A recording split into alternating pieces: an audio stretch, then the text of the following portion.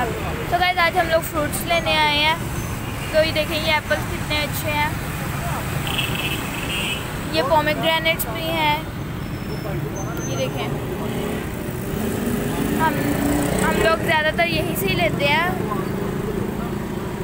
Red red Apple जा घर जाके अब हम लोग इसकी फ्रूट चाट बनाएँगे।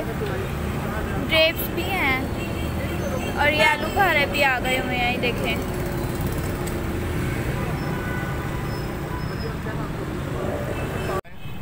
130 है। ये 130 वाले हैं। और वो वाले कितने के हैं?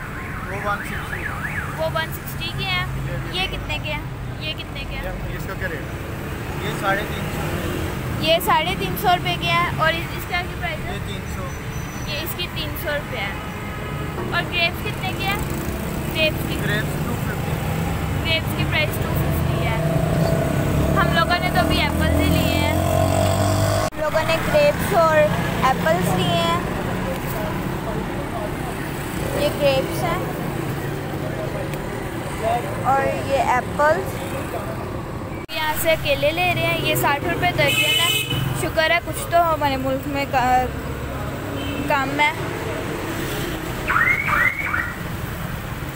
तो गाइज़ आपको हमारी वीडियो कैसी लगी हमें कमेंट्स में ज़रूर बताइए। हमारे चैनल को सब्सक्राइब कीजिए लाइक कीजिए ताकि जो हमारी न्यू वीडियोज़ आपको मिल सकें। अल्लाह हाफिज़।